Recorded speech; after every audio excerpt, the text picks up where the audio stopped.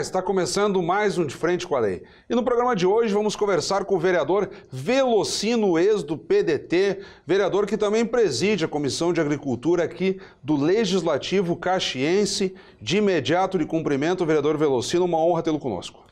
Da mesma forma, tudo bom, colega Fábio? Estamos aqui mais uma vez falar um pouco de alguns projetos que a gente tem aqui na Câmara. Enfim, uns viraram lei, outros estão protocolados, assim a gente espera que venha em benefício da comunidade caxiense. A propósito disso, vereador, o, proje uh, o projeto, o programa aqui, ele tem sempre uma ênfase maior nos projetos de lei. E aí as pessoas ficam se perguntando, ah, mas quando que esse projeto vai a plenário, quando que se tornará realidade? E um projeto seu uh, já se tornou lei nos últimos dias, uh, aqui no município, foi promulgado e trata da arte de empreender. O senhor procura estimular, digamos assim, o empreendedorismo local em toda a semana de maio, na primeira semana de maio de cada ano, então, que a cidade, a municipalidade como um todo, dê uma atenção maior ao empreendedorismo. Uh, quais são as suas expectativas a partir desse momento em que já é uma lei municipal? O senhor que veio outras vezes aqui ao programa e tratou ainda na condição de projeto, mas agora é uma lei. Com certeza, Fábio, eu me encantei por este projeto desde a época que eu estava à frente da Subprefeitura de Galópolis como subprefeito, acompanhava muito esse projeto que ainda nos dias de hoje a Prefeitura está levando adiante mas eu vi a necessidade, sim, de instituir no calendário do município que a primeira semana de maio fica assim instituído o projeto do Arte de Empreender para que se dê uma oportunidade a mais. Este projeto tem como objetivo proporcionar oficinas de empreendedorismo, curso de capacitação profissional e palestras, a fim de despertar atitudes de empreendedorismo que revertem ações de trabalho e renda aproveitando o potencial de cada comunidade. Esse projeto iniciou, na verdade, em 2014, naquela época, como já enfatizei, e que temos a parceria do SEBRAE, do SENAR, do Cinde Rural, e, e, a contrapartida do município muito pequena em, no objetivo que traz desse projeto. E eu vi naquela época que eu estava lá, muitas, principalmente se trata muito de pessoas idosas, Fábio, que muitas vezes se redescobrem depois de uma certa idade. Vejam bem, eu acompanhei lá, a maioria eram pessoas aposentadas na época, que enfim, iam ali para praticar essas oficinas, que depois ganhavam seu diploma, enfim, dentro do trabalho que era praticado. E muitas vezes a pessoa pensa, não, agora me aposentei, muita gente fica dentro de casa, muitas vezes, e diz, não, eu já dei o que era para dar, e muito pelo contrário. As pessoas se redescobrem depois de uma certa idade que tem muito ainda a contribuir e, e esse contribuir que eu disse reverte em trabalho e renda, principalmente essas pessoas idosas. Eu sempre digo, idoso em atividade é saúde. E além disso, encontra, encontra várias outras pessoas, fazem novas amizades em várias localidades, desde aquela época eram promovidos encontros durante o ano, que era promovido encontros como um todo, todas as comunidades. Eu vejo que instituindo no calendário do município como projeto de lei, na primeira semana de maio se pode ir um pouco além. Eu dei como sugestão eh, em cima na discussão quando defendia o projeto que além de tudo isso que já está dando, está se dando continuidade ao município, pode se ir a, a, um pouco mais longe eu vejo que no último ano, sim, teve a diplomação, teve as oficinas. Eu não vi aquele encontro como tinha na época que eu participei também numa comunidade. E mesmo com esse passar dos anos, novas pessoas que vão entrando nesse projeto, novas pessoas, que daria para promover nesta semana, deixei como exemplo, talvez anualmente, pelo menos um encontro em, em uma comunidade diferenciada, hora do lado de cada cidade, hora do lado de lá. E essas pessoas que muitas vezes fica muito tempo sem se encontrar, dentro desta semana vão se encontrar novamente e ali naquele local, talvez, ou talvez, nas, eu citei como na Praça das Feiras, ali onde que temos a Feira do Agricultor, a Feira do Peixe Vivo, que se possa nessa semana criar um dia, talvez, todas essas oficinas praticadas por essas pessoas durante todos esses anos, uma oportunidade de expor ali os seus produtos, uma espécie de feiras. Eu citei vários exemplos, além do encontro em comunidade, de feiras que pudesse colocar ali os seus produtos, essas pessoas idosas se sentirem valorizadas e, e além disso, e que viram em ação de trabalho e renda.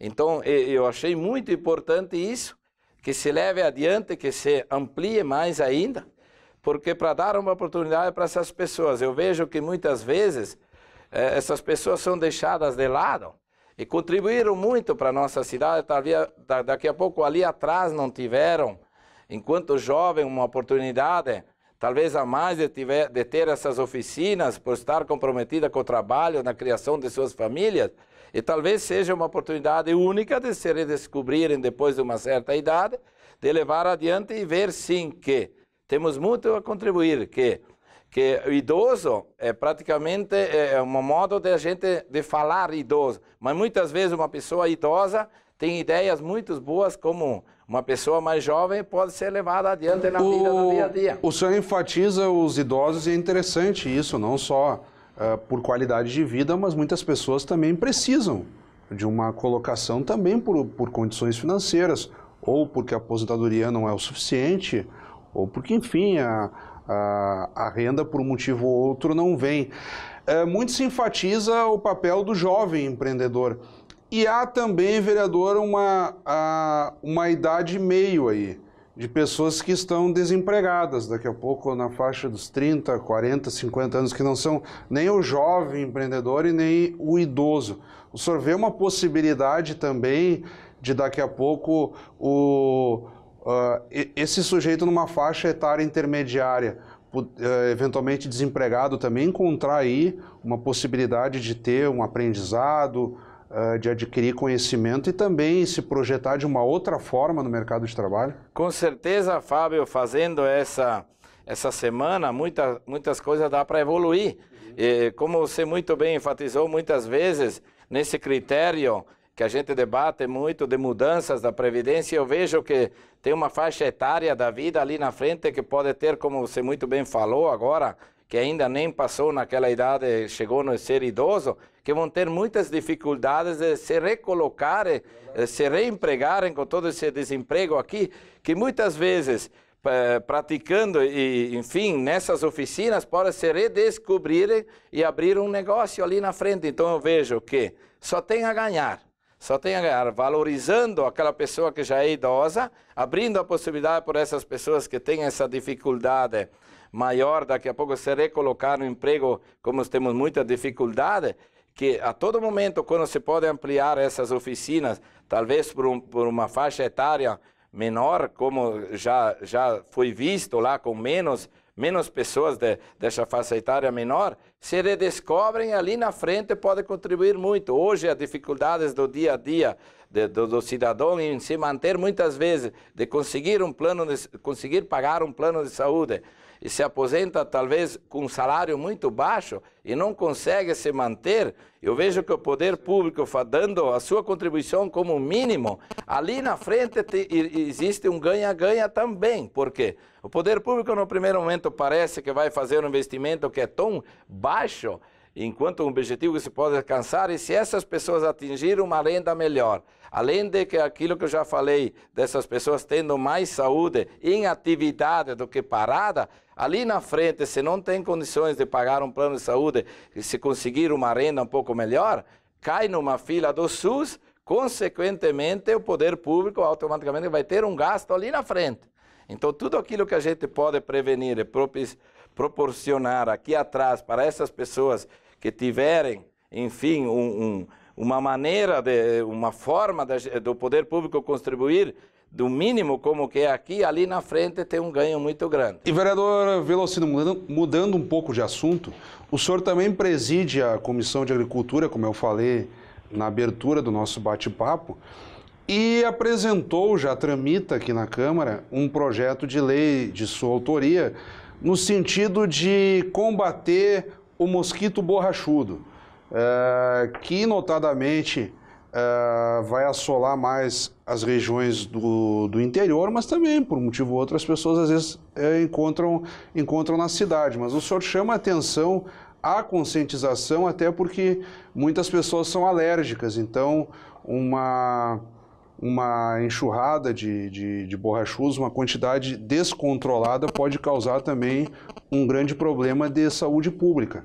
E o senhor vem no sentido de chamar atenção nesse sentido também, né? Com certeza, Fábio, a gente protocolou, eu protocolei esse projeto umas duas semanas atrás, ele vai demorar, demorar um pouco para vir, a, enfim, eh, para debate no plenário. Já está, já está tramitando nas comissões. Por quê, Fábio? Eu conheço esse combate ao borrachudo desde a época que eu ainda era morador lá da Quarta Légua, desde a época do governo Mansueto. E naquela época, Fábio, eu lembro como hoje, quando iniciou-se esse trabalho, haveria, haveria ali na época um comprometimento muito grande, assim também da comunidade, dos moradores. Eu lembro muito bem que naquela época vinha o órgão da vigilância, enfim, fornecia o BTI ali e nós, os moradores, limpava aquele órgão, fazia Vereador, esse trabalho. É, para quem está nos acompanhando e não está familiarizado com a linguagem, o que é o BTI?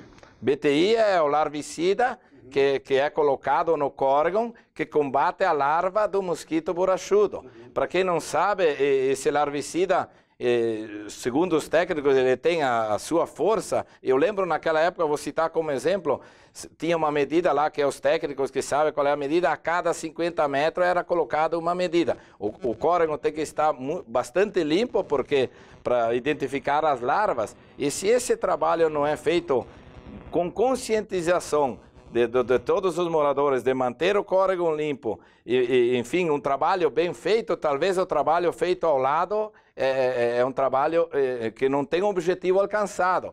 Durante esse ano, Fábio, teve muita reclamação no interior, inclusive foi questionar a vigilância, e a vigilância tem muita dificuldade em, em precisa mais efetivo. Hoje, lá na vigilância, precisaria de no mínimo mais 10 10 agentes para fazer o trabalho como se deveria. Hoje a vigilância faz o trabalho nos córregos maiores, os córregos maiores e os menores, o produto é passado assim para as comunidades para que faça esse trabalho. Mas não se tem a garantia de que ele é feito como eu já falei. Se o trabalho não é feito em conjunto, com a, a, a, todos no mesmo momento, no mesmo dia, coloca, enfim, o trabalho feito do lado não vai, não vai valer em nada. Então, nessa semana de conscientização, se volta para trás daquela época, conscientizar a comunidade, pedir ajuda para a comunidade, que de, de, de, fazer essa conscientização, conscientização que tem que ser feito a cada 40, a, em 45 dias, três aplicações quinzenais, para que se atinja o objetivo. E o senhor está destacando qual período do ano? Pra... No mês de outubro. E tem algum motivo especial por, isso? Eu, inclusive, até visitei, enfim, me informei com a vigilância o que, que eles achavam, acharam muito bom. Uhum. Na verdade, porque o objetivo é conscientizar a comunidade que o poder público precisa também de ajuda. Porque o que se vê muito no clima da gente é que nos meses de setembro, enfim, dali depois cessa as, as enxurradas. Há uma diminuição de setembro para outubro, todos os anos, o clima nos córregos. Muitas vezes alguns córregos desaparecem, deixa de existir por causa que o clima, enfim, as águas diminuem. Então, fazendo esse trabalho no início de outubro, a gente consegue pegar 100% dos córregos e o trabalho, enfim, o tra objetivo é alcançado como inteiro. Eu vejo que quando o trabalho é feito da, daquilo que eu recém falei, de 15 em 15 dias, três aplicações seguidas, logo, logo tu nota a diminuição do, do mosquito borrachudo. Então, vereador, vamos aguardar a, a tramitação, como o senhor mesmo falou, que começa pelas comissões, até que o projeto esteja apto, digamos assim, para apreciação dos vereadores em plenário e, sem dúvida, pela TV Câmara, vamos situar a quem nos acompanha.